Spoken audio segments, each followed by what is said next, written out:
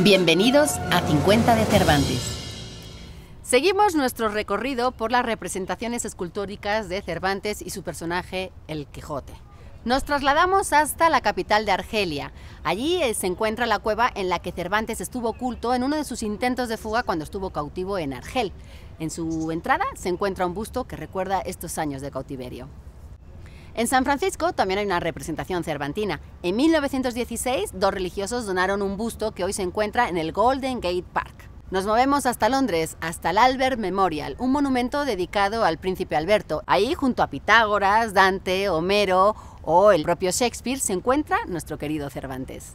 Y terminamos el recorrido en Madrid, donde por supuesto hay múltiples representaciones de Cervantes.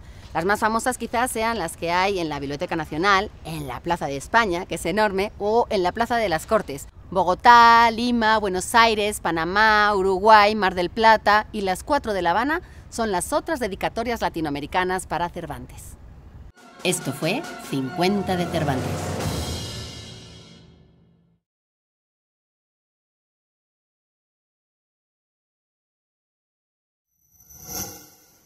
Gobierno de México.